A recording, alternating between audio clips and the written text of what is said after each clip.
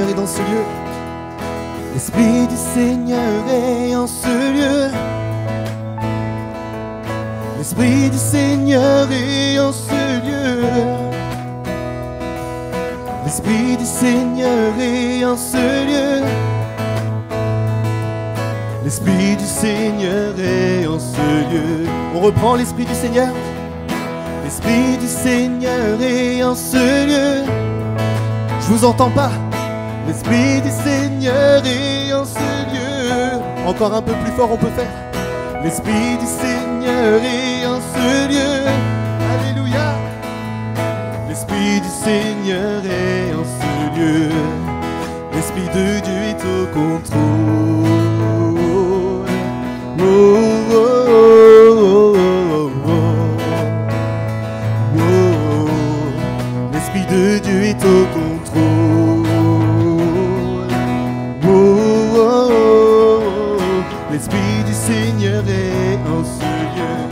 malades sont guéris, non? Les malades sont guéris en ce lieu. Oui, nous sommes bénis en ce lieu. L'ennemi doit s'enfuir de ce lieu.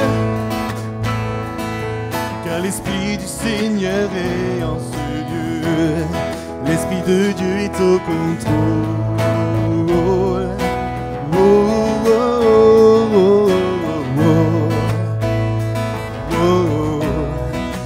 De Dieu est au contrôle. Oh, oh, oh, oh. L'Esprit du Seigneur est en ce lieu. Les opprimés sont délivrés en ce lieu. Alors viens déposer tes fardeaux en ce lieu. Le pardon, Dieu veut te le donner en ce lieu. Seigneur est en ce lieu. L'Esprit de Dieu, l'Esprit de Dieu est au contrôle.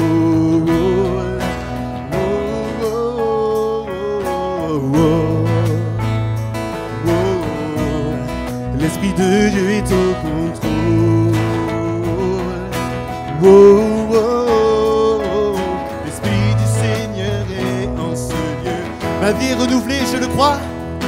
Ma vie est renouvelée en ce lieu.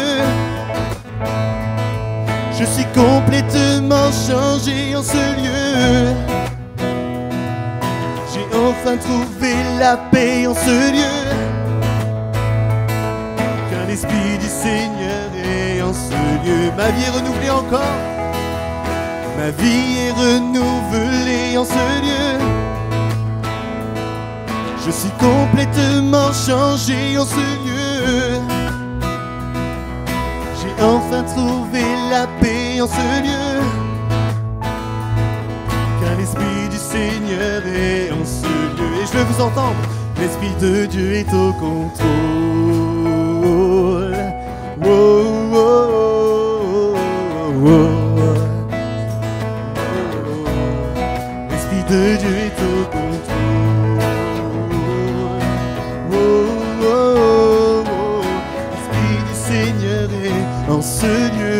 Encore une fois, l'Esprit du Seigneur est en ce lieu. L'Esprit du Seigneur est en ce lieu. L'Esprit du Seigneur est en ce lieu. Amen. Amen. Merci au Seigneur pour ces moments. Et nous voulons prendre le temps aussi de recevoir sa parole. Nous pouvons lui apporter notre cœur, nous pouvons lui apporter notre reconnaissance, mais il est bon aussi de recevoir la, la parole de Dieu pour nos vies. Nous voulons être fortifiés par la parole de Dieu. Amen. Nous voulons faire des progrès avec le Seigneur. Est-ce que c'est votre souhait ce matin? Moi, c'est mon souhait de faire des progrès avec le Seigneur. J'étais le premier passé euh, par le crible, hein, passer au crible avec euh, la parole, en lisant, en préparant, en se laissant remplir par le Seigneur. Et je crois que le Seigneur a une parole à la fois pour euh, peut-être nous reprendre, nous dire, hey, où t'en es aujourd'hui, mais aussi pour nous amener plus loin avec lui, pour mieux le servir. Amen. On va prendre ensemble dans le livre de Matthieu au chapitre 18. Chapitre 18.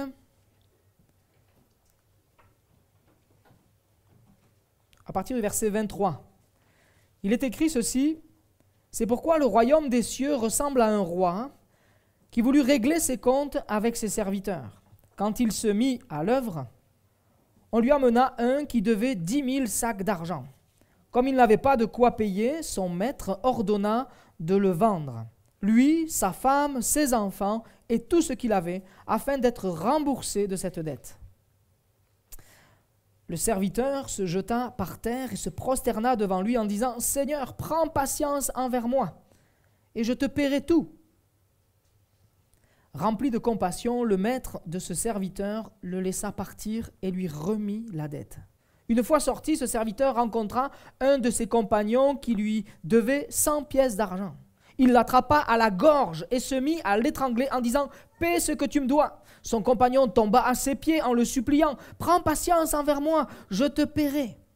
Mais l'autre ne voulut pas et alla le jeter en prison jusqu'à ce qu'il ait payé ce qu'il devait. À la vue de ce qui était arrivé, ses compagnons furent profondément attristés et ils allèrent raconter à leur maître tout ce qui s'était passé. Alors le maître fit appeler ce serviteur et lui dit Méchant serviteur,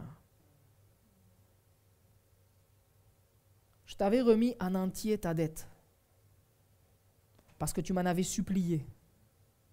Ne devais-tu pas, toi aussi, avoir pitié de ton compagnon comme j'ai eu pitié de toi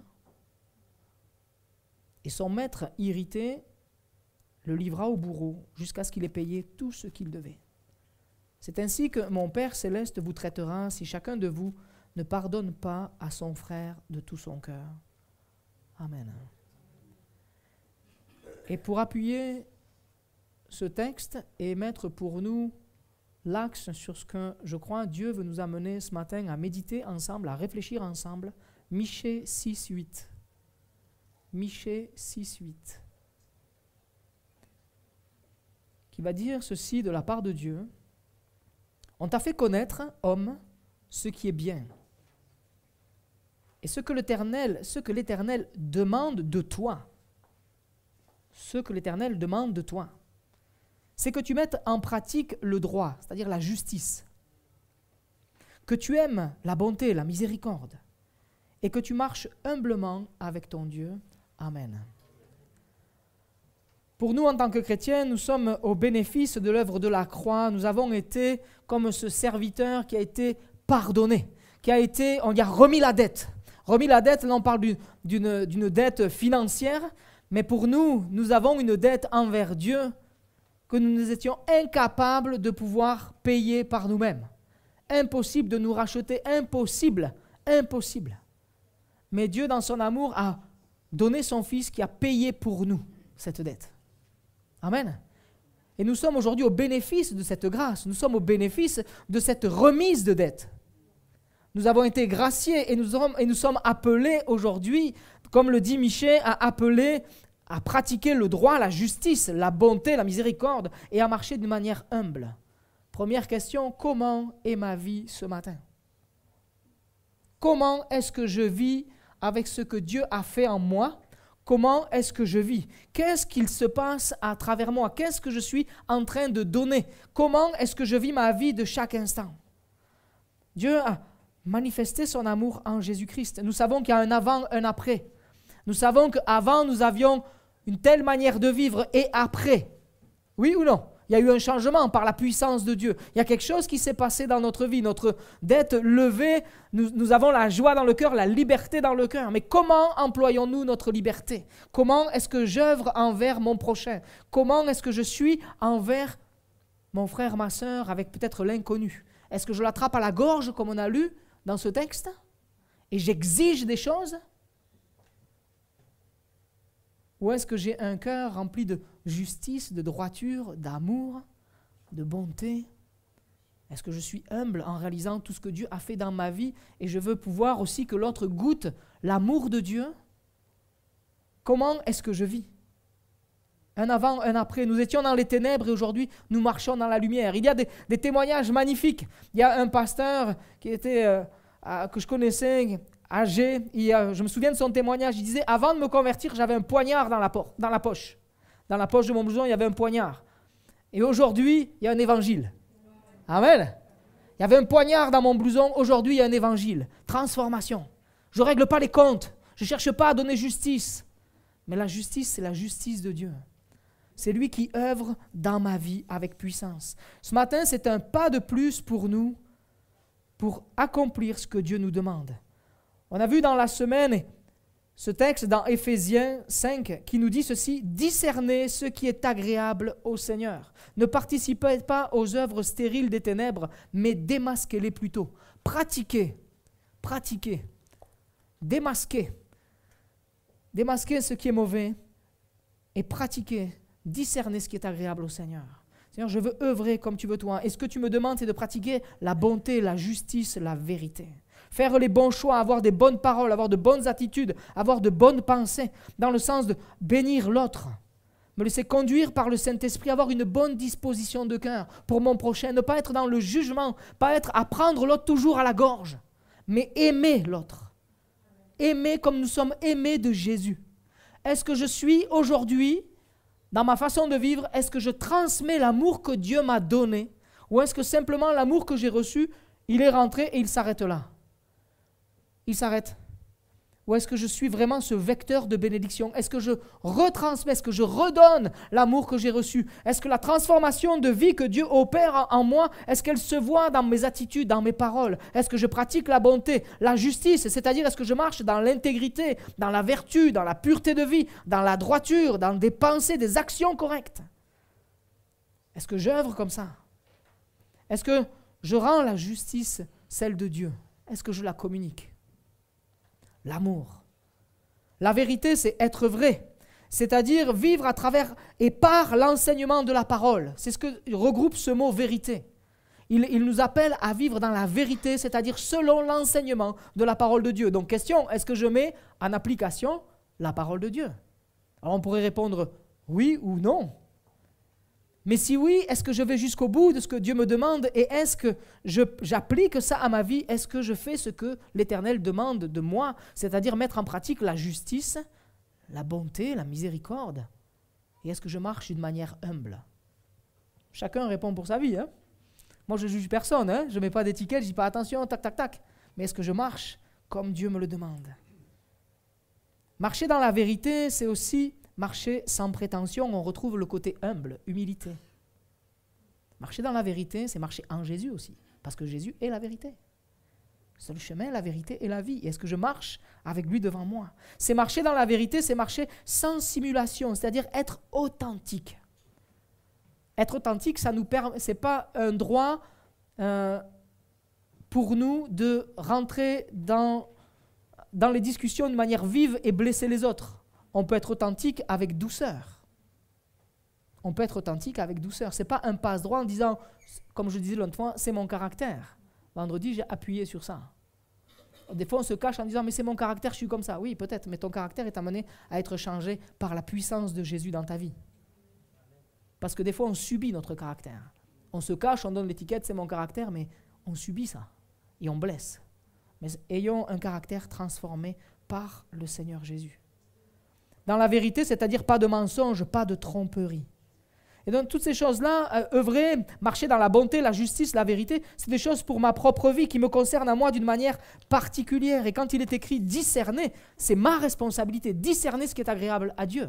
On est tous capables, avec l'œuvre du Saint-Esprit dans nos vies, on est, pardon, rendu capable par l'œuvre du Saint-Esprit dans nos vies de discerner ce qui est agréable à Dieu.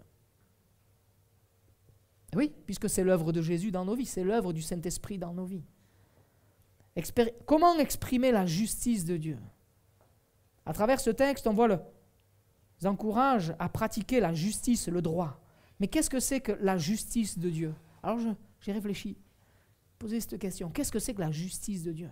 On connaît la justice de Dieu pour notre vie qui nous a pardonné, racheté par Jésus à la croix du calvaire, oui. Mais qu'est-ce que ça veut dire pratiquer la justice de Dieu? Pratiquer la justice de Dieu, c'est reconnaître et s'appliquer à respecter chaque personne dans leur dignité. Nous sommes tous égaux. Il n'y a pas de différence aux yeux de Dieu. Couleur de peau, ethnie, euh, peu importe, homme, femme, grand, petit, l'égalité pour tous. Respecter l'autre, Respecter la dignité de chaque être humain. On le retrouve aussi dans les droits de l'homme qui ne sont pas toujours respectés. Est-ce que cela me donne à moi le droit de ne pas respecter ce que Dieu dit? Non. Je veux respecter mon prochain. Je veux aimer mon prochain, respecter la dignité de chacun. Il est écrit ceci dans Genèse 1, 27. Dieu créa l'homme à son image. Il créa à l'image de Dieu, il créa l'homme et la femme. De quel droit j'émets un jugement sur une personne? Ou dire non, celui-là est moins bien, celui-là est mieux, celui-là est plus, celui-là est moins. Ce n'est pas dans le cœur de Dieu. Si nous prenons pour nous, c'est un encouragement ce matin, c'est assez, sec, c'est assez euh, fort. Mais c'est parce que quelquefois nous mettons des gens dans des cases, nous séparons. Et un chrétien, je vais aller même plus loin, il n'est pas normal de trouver un chrétien, et ce n'est pas dans le cœur de Dieu qu'un chrétien éprouve dans son cœur comme du racisme ou de la ségrégation. Ce n'est pas de Dieu. Dieu aime tous les hommes de la même manière, toutes les femmes de la même manière. De la même manière. Nous sommes appelés à nous aimer les uns les autres. Ça, c'est de manière générale, on pourrait parler comme ça, la dignité de chacun, mais aussi, quand on dit ceci d'une manière encore général, nous voyons, tu ne commettras pas de meurtre. C'est-à-dire qu'on ne va jamais faire du mal à l'autre. On est d'accord avec ça. Ça, c'est facile. On dit, mais bien sûr, on ne va jamais tuer quelqu'un. On est d'accord avec ça. On dit, on trouve ça pas normal. Et pourtant, quand on lit la parole de Dieu, pour nous titiller ce matin, pour nous aiguiser ce matin, on va ensemble dans Matthieu 5. Dans Matthieu 5. On va voir ensemble que oui, nous ne commettons pas de meurtre. Mais comment mon cœur réagit à partir du verset 21, Matthieu 5, 21. Vous avez appris qu'il est dit aux anciens, tu ne commettras pas de meurtre. Celui qui commet un meurtre mérite de passer en jugement. Tous d'accord avec ça? Non? Ah bon, s'il vous plaît. Oui. Verset 22. Mais moi je vous dis, et c'est Jésus qui parle, tout homme qui se met sans raison en colère contre son frère mérite de passer en jugement. De la même manière, et quand on continue, celui qui traite son frère d'imbécile mérite d'être puni par le tribunal. Et celui qui traite de fou mérite d'être puni par le feu de l'enfer. Et il va plus loin en disant si donc tu présentes ton offrande vers l'autel et que là tu te souviennes que ton frère a quelque chose contre toi, laisse ton offrande devant l'autel et va d'abord te réconcilier avec ton frère puis viens présenter ton offrande. L'injure, la façon de parler de l'autre, la façon de considérer ton collègue de travail, celui qui est juste en face dans le bureau, celui ou celle qui est à l'accueil, celui qui place sur le parking, celui qui est, peut-être même ton patron. Comment est-ce que tu parles? Comment est-ce que je parle? Quelle est mon attitude? Aussi, devant Dieu, c'est aussi grave qu'un meurtre, quand je prends les Écritures. Ça travaille en profondeur. Je veux pratiquer la justice, que ma langue soit porteuse de bénédiction, que mes propos soient toujours assaisonnés de sel, mesure de grâce, de bénédiction, que quand je parle, ça construit, ça édifie, ça encourage, ça relève. Je veux pratiquer la justice selon le cœur de Dieu. C'est tellement important pour Jésus qu'il va dire s'il y a quelque chose qui se passe, s'il y a, des, s'il y a quelque chose qui, s'il y a de la colère qui est là, colère sans raison, il est écrit. Hein. On peut être en colère pour des raisons justes. Si nous sommes malmenés, s'il y a des choses qui se passent mal, on a, notre corps et notre être réagit et c'est normal, c'est un moyen de survie. Maintenant, cette colère, il ne faut pas qu'elle domine ma vie et qu'elle fasse naître de la haine. Mais par contre, c'est un avertisseur. C'est un avertisseur, il y a quelque chose qui se passe. Je réagis. Mais Seigneur, je ne veux pas que cela, ça, tourne à la haine. Alors laisse ton offrande. Quelque part, prends du temps avec ton frère, ta soeur. Prends du temps avec le Seigneur. Et après, reviens. Parce que Dieu attend de nous des lèvres pures qui l'honorent, un cœur qui l'honore. Et même tu pourrais prendre du temps, peut-être que tu euh, occupes un service, j'ai envie de dire même dans l'Église, tu as envie de t'impliquer dans l'Église. D'abord, mon frère, ma soeur, règle ton cœur avec le Seigneur. Tu as des aspirations, gloire à Dieu. Travaillons à ça et acceptons-le, nous l'acceptons, nous souhaitons que des hommes, des femmes se lèvent pour s'engager pour le Seigneur. Mais s'il y a quelque chose qui n'est pas réglé, règle-le d'abord pour pouvoir servir la manière dont Dieu le veut. Ensuite, une autre manière de respecter mon prochain, c'est dans ma propre famille. La dignité dans ma famille. Honore ton père et ta mère. C'est évaluer, son, évaluer le, le comportement de nos parents. Et des fois, nos parents ont été bons et des fois moins bons. Quelques-uns ont été aimants, d'autres pas du tout. Alors on ne va pas forcément honorer dans le sens dire c'est super ce que tu as fait si tu m'as pas aimé, on est bien d'accord. On ne va pas être à l'inverse. On veut peser, on veut réfléchir, mais ce qui est bon chez eux, eh bien je veux les traiter avec respect, avec beaucoup d'honneur. Couragement de la parole de Dieu. Mais s'il y a quelque chose qui n'est pas honorable, on ne va pas l'honorer, on ne va pas faire comme si c'était bien. Soyons justes. Soyons justes. Mais juste à tout niveau. Et quand euh, nous avons reçu de bonnes choses, sachons le, reconnaître et honorer.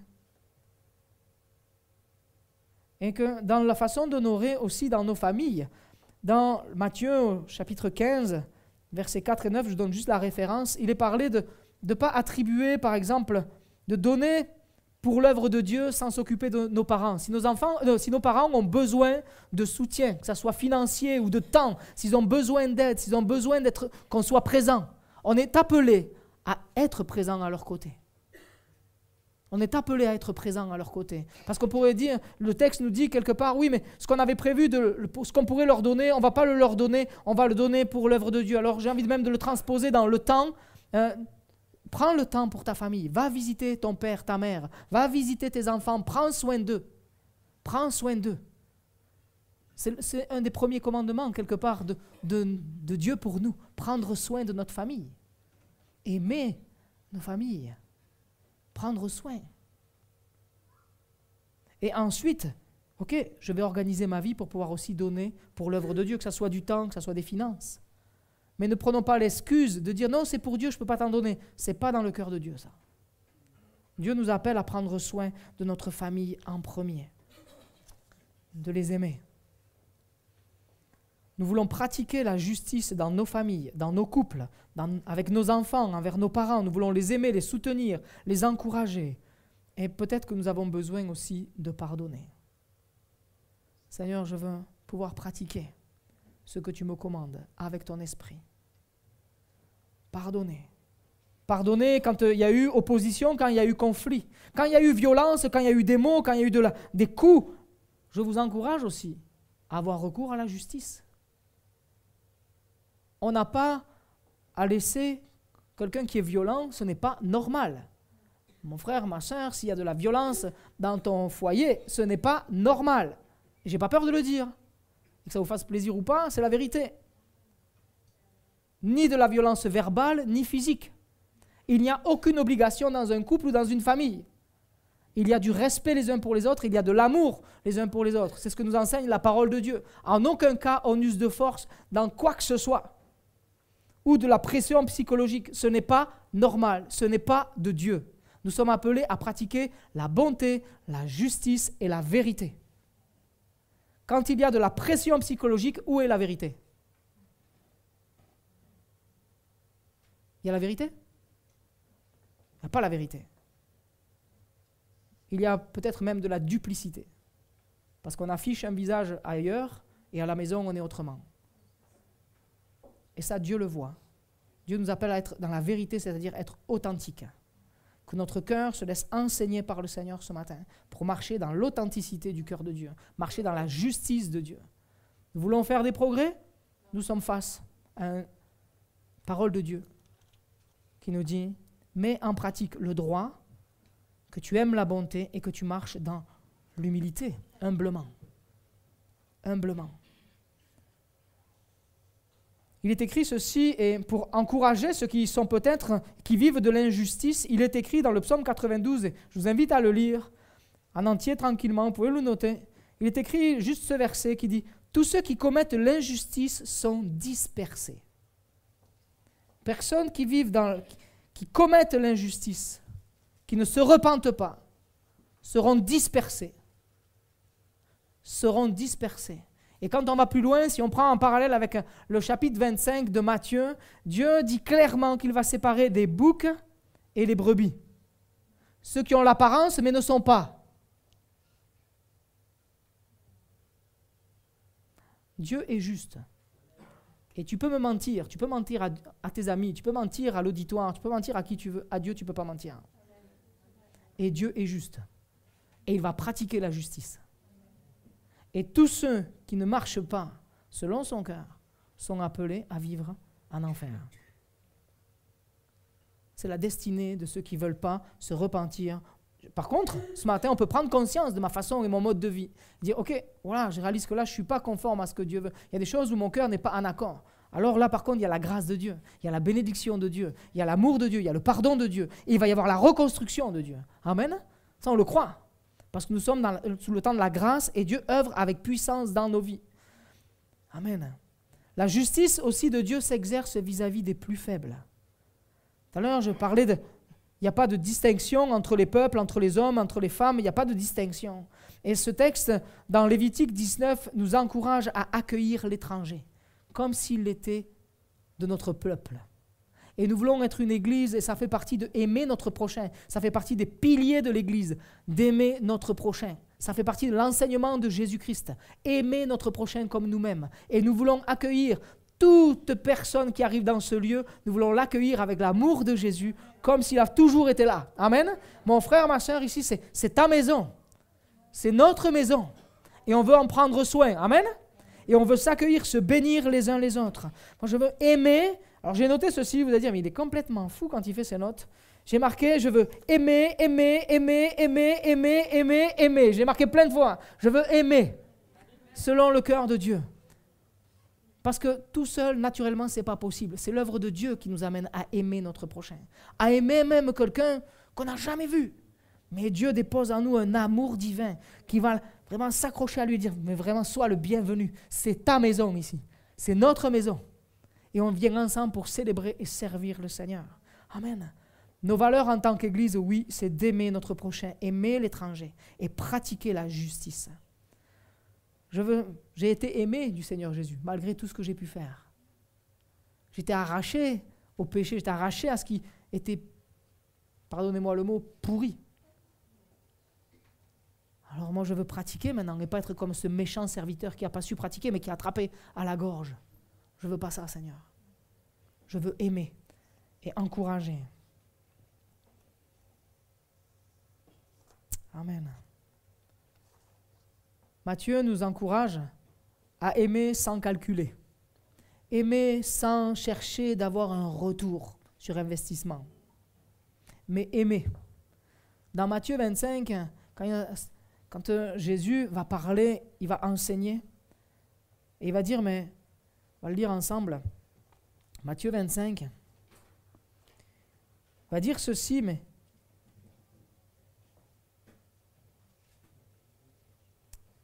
Venez, vous qui êtes bénis par mon Père, prenez possession du royaume qui vous a été préparé dès la création du monde. En effet, j'ai eu faim et vous m'avez donné à manger. J'ai eu soif et vous m'avez donné à boire. J'étais étranger, vous m'avez accueilli. J'étais nu, vous m'avez habillé. J'étais malade et vous m'avez rendu visite. Et notre sœur, tout à l'heure, a apprécié. Et ça l'a aidée. Elle a été bénie. Parce que dans sa maladie, elle a été visitée. Elle a été accompagnée. On a pris soin d'elle dans le nom de Jésus. Comme c'est bon, ça a, ça a participé à sa confiance en Dieu, à sa restauration. Nous voulons pratiquer cela. Et quand on continue, j'étais en prison et vous êtes venus vers moi. Les justes lui répondront, Seigneur, mais quand avons-nous vu affamé T'avons-nous vu T'avons-nous donné à manger Ou assoiffé T'avons-nous donné à boire? Quand avons-nous vu étranger et t'avons-nous accueilli Ou nu et t'avons-nous habillé Et le roi leur répondra, je vous le dis en vérité, toutes les fois que vous avez fait cela à l'un de ces plus petits de mes frères, c'est à moi que vous l'avez fait. Amen. C'est-à-dire qu'ils ne se sont même pas rendus compte, ils n'ont pas cherché à faire pour avoir. Ils ont simplement fait parce que ça faisait partie de ce qui les habitait. Simplement, l'amour de Dieu est là. Ils étaient justes. Il est écrit les justes. Les justes œuvrent sans chercher à avoir un retour sur investissement. Je fais parce que j'aime, naturellement, parce qu'en fait je suis transformé par la puissance de Dieu, je suis transformé par son amour. Alors je vais donner, je vais même m'offrir, je vais donner pour l'autre. Je vais aller le visiter. Qu'est-ce qui nous empêche, mon frère, ma soeur? Je vais rentrer dans le côté pratique, de pratiquer la justice de Dieu. Qu'est-ce qui nous empêche d'inviter quelqu'un à notre table? Est-ce qu'il y a quelque chose, mon frère, ma soeur, qui t'empêche d'inviter quelqu'un à ta table ce dimanche?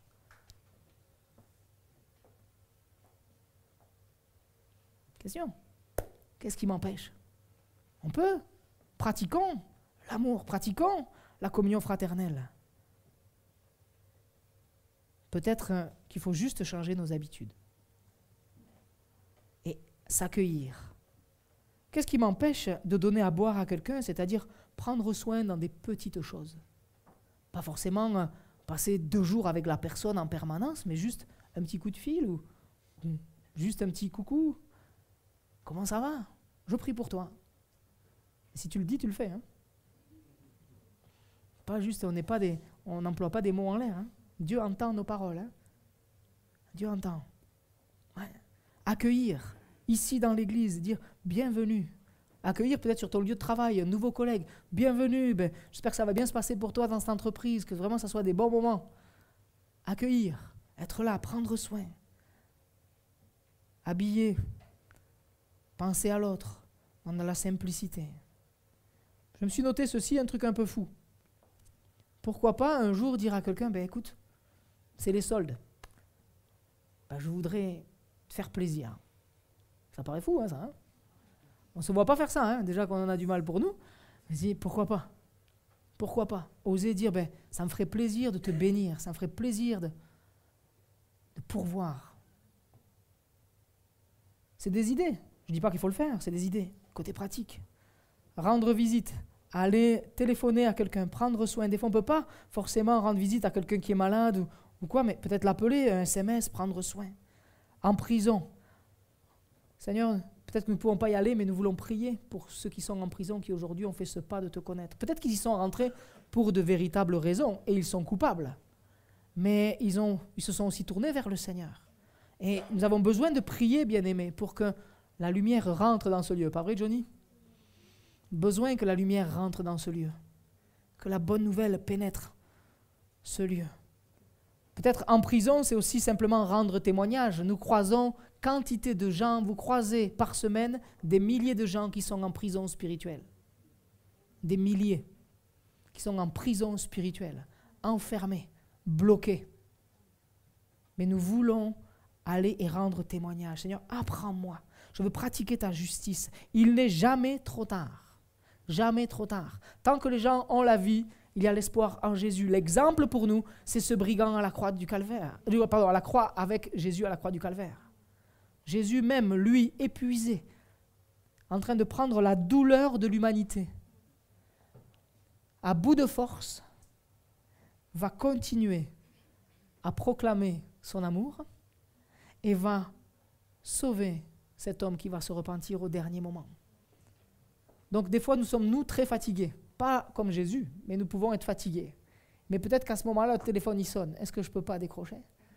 Donne-moi la force, Seigneur. Et peut-être que nous connaissons quelqu'un qui est à l'extrême. Donnons-lui l'opportunité de pouvoir rencontrer Jésus-Christ. Qu'il vive le salut en Jésus. Nous voulons proclamer le salut en Jésus partout, en toutes circonstances. Dieu nous encourage à discerner ce qui est agréable à lui. Il y a des moments, il y a des moments clés. Seigneur, donne-moi de les voir, donne-moi de les discerner. Et je veux pratiquer ta justice. Je veux pratiquer ton amour. Je veux pratiquer ce que tu m'enseignes, la justice, la miséricorde, et marcher d'une manière humble. Amen. Il y a un, impact quand je vis comme Dieu me demande, et je vais terminer avec cela pour nous encourager, la part du Seigneur. Regardez dans le psaume 92, justement, à la fin du psaume, il est écrit ceci.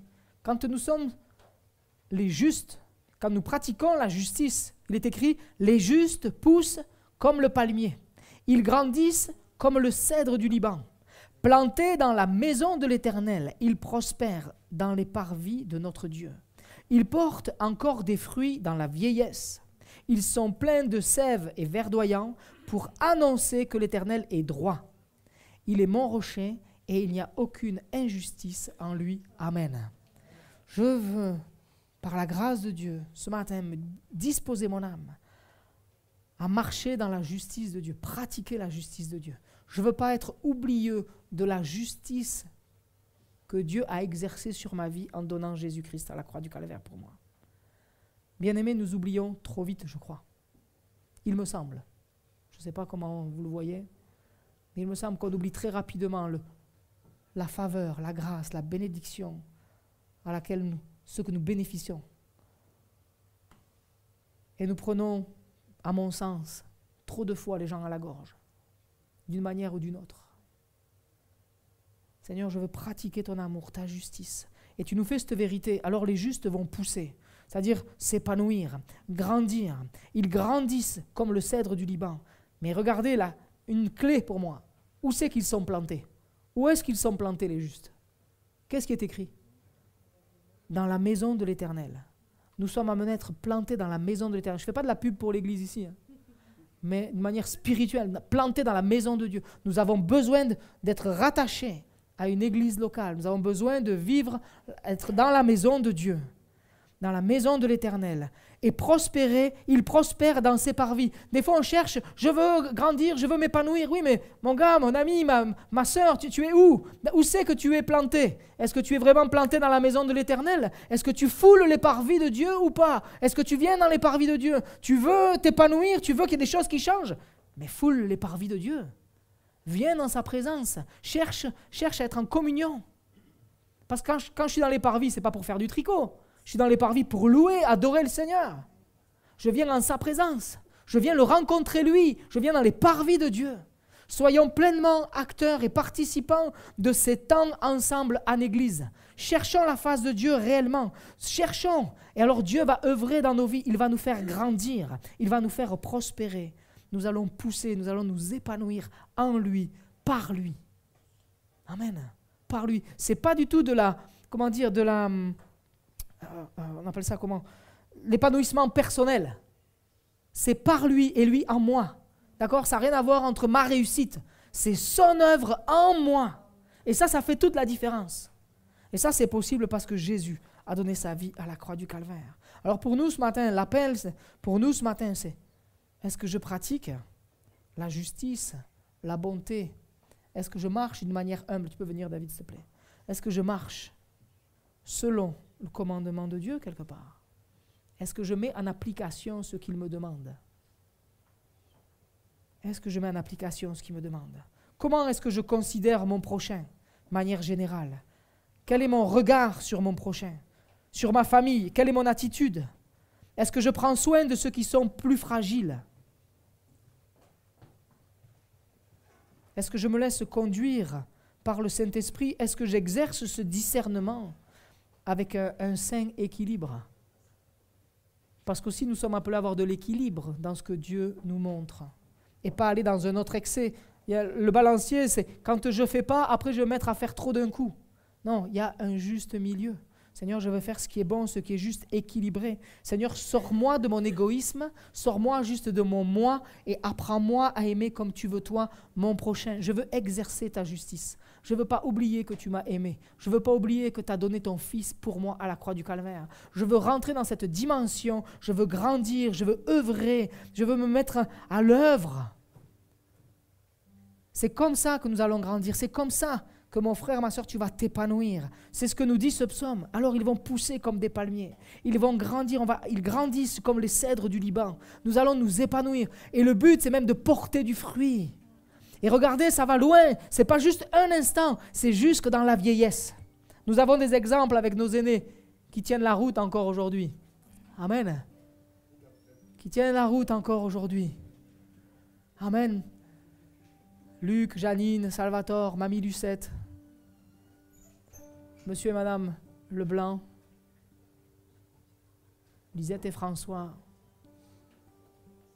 Marie, des hommes, des femmes de foi, des aînés qui marchent dans la foi, verdoyants, présents, présents, vivant l'Église de tout leur cœur, venant même quand il y a une action d'évangélisation sur le terrain, accepter la pluie. C'est merveilleux. Participer à la, à la mesure de ce que nous pouvons faire. On sait bien qu'on ne peut pas faire comme avant, mais ils participent, ils prient, ils s'investissent, tamponnent les évangiles. Acceptent les petites choses avec humilité. Seigneur, je veux marcher dans cette humilité. On pourrait développer d'autres points comme pratiquer l'équité. Apprends-moi à travailler dans l'équité. Quelque chose qui va permettre à chacun de, de s'épanouir à la bonne mesure avec le Seigneur. Avoir un cœur qui travaille dans l'équité. Être équitable. Être équitable, c'est des fois donner un peu plus à l'autre parce qu'il part d'un peu plus loin. Donner un petit peu moins à celui qui a déjà afin qu'il y ait vraiment tout le monde au même niveau. C'est ça, travailler dans l'équité. Pratiquer la justice de Dieu. Je termine, tenez bon. La justice de Dieu, c'est aussi travailler à l'unité. Jésus a donné sa vie pour créer l'Église. Et l'Église, c'est un corps. Être unis, ensemble, accepter et marcher dans la volonté de Dieu. C'est être bâtisseurs les uns avec les autres. Se mettre à côté de l'autre et bâtir ensemble, travailler ensemble. Si je travaille pas à rassembler, je travaille à quoi d'après toi? À disperser ou à diviser. Si mon cœur n'est pas dans l'œuvre de bâtisse, alors malgré ce que tu peux dire, tu es dans la division. Parce que tu n'es pas en train d'unir, de t'unir dans la bâtisse, dans l'unité. C'est dur hein, ce que je dis, mais je le pense véritablement. Nous voulons travailler dans l'unité avec le Seigneur, dans nos relations entre frères et sœurs, s'encourager, être homme et femme de foi, être homme et femme de prière. Je ne veux pas parler dans le sens de critique. Je ne veux pas être pipelette ou pipelot, je ne sais pas si ça se dit. Être râleur, être jaloux, être aigri. Mais je veux prendre ce que Dieu va présenter devant moi, œuvrer à la mesure qui va le permettre, que tout ce que ta main trouve à faire, fais-le. Unissons-nous dans le travail pour l'œuvre de Christ. Pratiquons la justice du Seigneur. C'est aussi avoir un cœur généreux. Je ne parle pas de finances mais c'est généreux envers l'autre. Aimer avec générosité, oser aimer. Pratiquer la justice de Dieu. Sortir de l'égoïsme. Alors que le Seigneur nous interpelle maintenant. Un temps de prière maintenant et que notre cœur se laisse interpeller par le Seigneur. Où est-ce que j'ai besoin de grandir? Où est-ce que j'ai besoin Qu'est-ce que j'ai besoin de faire? Comment j'ai besoin de travailler peut-être sur ma propre vie? Dans le sens, travailler, c'est ouvrir mon cœur et dire Seigneur, voici mon cœur. Je prends conscience ce matin de l'état de mon âme. Je réalise qu'en fait, je ne suis pas en train de pratiquer le droit à la justice. Je suis en train de voir que la miséricorde, c'est pas mon fort. La bonté, je la mets pas en action. Le côté humble, j'avais oublié que ce mot existait. J'ai besoin, Seigneur, de toi. J'ai besoin de toi. Pour vivre cela, c'est simplement possible par l'œuvre du Saint-Esprit dans notre vie. Sinon, on va toujours chercher ce qui va nous avantager. On ne va pas œuvrer avec la justice de Dieu. Seigneur, donne-nous d'être une église qui va vivre la justice. Ta justice. Mettre en œuvre ta justice chaque jour. Alors moi, je vous dis que ce lieu va être vraiment trop petit. Il commence à l'être ce matin, mais on croit que ça va continuer. Et ne vous inquiétez pas pour ça, on pourra passer à deux cultes sans problème. Sans problème. Sans problème. On ne va pas arrêter la croissance. On ne va pas arrêter l'œuvre de Dieu. Tout à l'heure, quelqu'un est rentré parce qu'ils ont entendu les chants. Seigneur, nous croyons que tu veux continuer à briller dans cette ville. Croyons que Dieu nous place dans notre travail pour pratiquer la justice selon son cœur. Amen. Apprends-moi, Seigneur, montre-moi. Me voici parle à mon âme. Et peut-être que j'ai besoin de demander pardon au Seigneur. Parce que je réalise. Et pour repartir de manière juste, bonne, je veux simplement venir vers toi, Seigneur, et te demander pardon. Je prends conscience que mon cœur a, manqué le but à plusieurs reprises. Comme si tu éclairais mon âme ce matin, comme si ton esprit vient éclaire les âmes maintenant, Seigneur. Éclaire nos cœurs. Et que notre cœur se laisse sonder par toi et reconnaissent là où nous n'avons pas pratiqué la justice, la miséricorde, la bonté, avoir agi avec humilité. Seigneur, façonne-nous. Et nous voulons vraiment vivre ce que ta parole déclare. Prospérer en toi, grandir en toi, nous élargir en toi, pousser comme ces palmiers, parce que nous sommes plantés dans ta maison. Mon frère, ma soeur, as-tu besoin que le Seigneur vienne purifier ta vie, laver ta vie? Moi, je veux t'inviter à prendre position pour le Seigneur et à dire, OK, je prends conscience que la justice de Dieu, je ne la pratique pas correctement ou pas toujours. Il y a des choses où j'ai cherché avantage pour ma vie, j'ai cherché à tirer avantage de la situation. J'ai peut-être mon cœur qui ne qui sait pas aimer correctement et je veux apprendre. mon frère, ma soeur, moi je veux t'inviter à, te positionner devant le Seigneur. Dire Seigneur, j'ai besoin de toi. Et peut-être que tu entends le message de l'Évangile pour une des premières fois et tu veux repartir libre. Tu sens que tu as une dette, toi, envers Dieu. Parce que oui, le péché vient créer cette dette dans nos vies et nous empêche d'être en communion avec Dieu. Et je veux t'inviter ce matin, pour toi qui viens peut-être pour la première fois ou les premières fois, tu sens que ton cœur est en désaccord avec Dieu. Tu sens que ton, il y a cette dette-là. Mais d'une manière spirituelle, je veux t'inviter, comme l'a fait ce serviteur, à te mettre à genoux devant Dieu. Manière spirituelle.